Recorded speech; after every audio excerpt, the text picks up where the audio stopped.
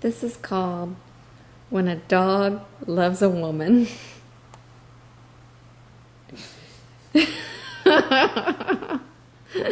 Don't be mean.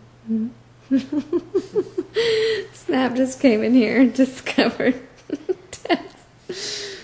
Oh my gosh, Tex, what are you thinking, bud? He's a good buddy. Don't get on his legs. Is he the baby? Or is he the babysitter? He's the babysitter.